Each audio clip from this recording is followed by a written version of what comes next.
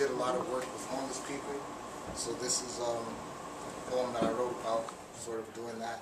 It's called Sheltered Living. The rain holds no meaning to the sheltered. It happens in the world outside and only means to them a change in pace.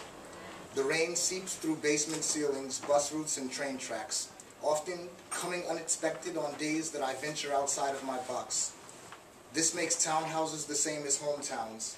The rain exposes my regrets in comparison to the sheltered, and I live through the forgotten miseries, aborted where my name left no marks of permanence. The rain washes away my footsteps, and I steer towards safe haven, only to find the sheltered in a familiar place that changes faces of strangers.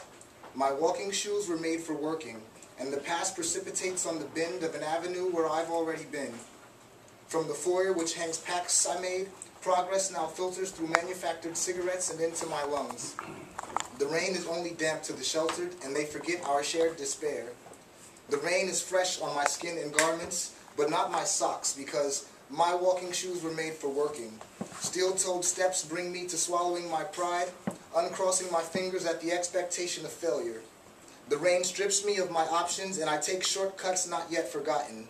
Flooded off of city corners, the steps of closed libraries and shopping districts, and inconsistent bus routes, the rain chases me into dilemma. My scattered thoughts are drenched by cars driving into puddled trenches. The rain reveals tragedy from the backside, and sometimes I fall under the umbrella of sanctuary. I sleep with knots in my chest and aches in my back, but the rain washes me over old footsteps and I faint in an old couch's bosom before the clock strikes twelve. Twilight cigarettes wrap uncrossed fingers around the hope of clear morning skies. Comfort drizzles in the daylight slowly as I learn to appreciate the gray clouds that shelter the sun, like my shelter from the rain. Many veils seem unpleasant until the face behind the smoke is yours, or mine.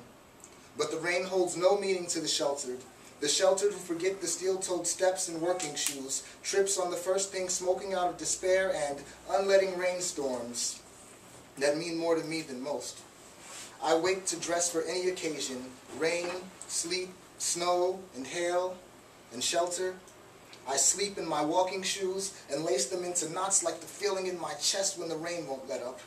The rain seeps through basement ceilings, bus routes, and train tracks on days I'm built up to chase progress. I live through the forgotten miseries and open coffee shops on the morning after it rains. I catch the first bus heading home, but home is just a town and shelter is just a feeling of comfort, even in the rain. Wearing soggy clothes and dry socks through a common lifestyle gone unnoticed by the sheltered. The rain is fresh on my skin and garments. The rain washes away my footsteps as if I had never been sheltered.